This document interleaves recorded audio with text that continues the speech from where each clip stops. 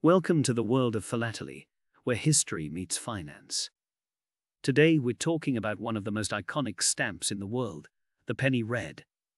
This little piece of history has been in circulation since the mid 1800s and has stood the test of time.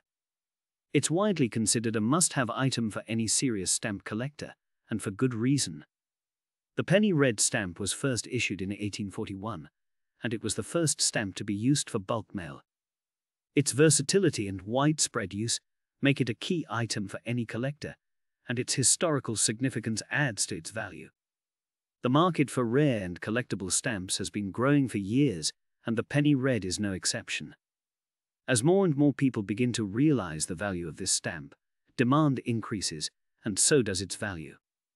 In fact, a penny red recently sold at auction for over £100,000, demonstrating just how much its value has appreciated over the years. What's great about the penny red is that it's accessible to collectors at all levels. There are many different variations of the stamp, so you can start with a smaller collection and gradually build up to more rare and valuable pieces. And it's not just the penny red, we urge you to collect. The Victorian era was a time of great change and progress, and this is reflected in the stamps of the period.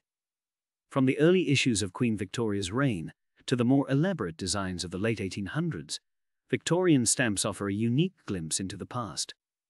As a collector, you'll not only get the opportunity to earn a piece of history, but you'll also benefit from the appreciation of value that comes with it.